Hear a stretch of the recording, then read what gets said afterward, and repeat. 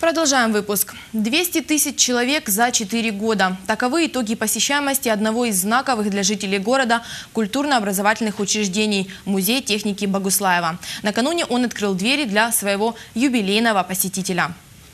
Буквально неделю назад Музей техники Богуслаева отметил 4 года со дня основания. За короткий период в просторных залах учреждения, где собраны тысячи экспонатов техники, побывали сотни тысяч посетителей. Юбилейным гостем, что примечательно, стал один из ведущих конструкторов предприятия «Ивченко Прогресс» Николай Исаев, который привел с собой большую дружную семью. 200-тысячному посетителю в торжественной обстановке вручили памятные подарки.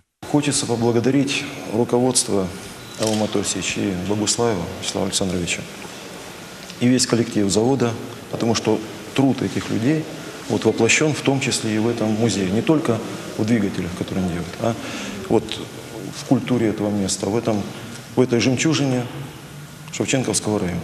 После своего рода церемонии награждения Николай Исаев вместе с семьей отправился на экскурсию по музею. Участники увлеченно слушали истории появления новых экспонатов в выставочных залах. Их коллекция пополняется с завидной регулярностью, говорит директор музея Олег Варяник. Но для этого приходится проделывать огромную работу. Это архивы Москвы, Санкт-Петербурга, Киева, э, Запорожья, так сказать. Мы находим людей, так сказать, которые были связаны с нашим предприятием, так сказать, с историей нашего города, э, также, допустим, родственников. И вот, так сказать, с ними работаем и стараемся все это доставать от первоисточника.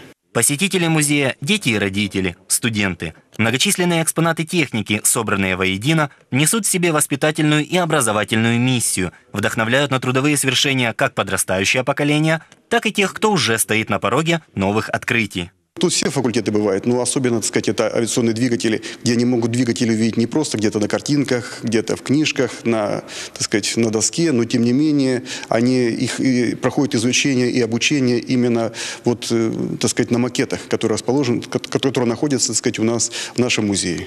Залы музея никогда не пустуют без посетителей. Гости из Мелитополя, впервые побывавшие здесь, поделились впечатлением от увиденного. Очень понравилось, особенно понравились вот эти турбины, хоть мы и девочки, конечно, нам очень было интересно. Видно, что с любовью сделан весь этот музей, с любовью это очень оформлено.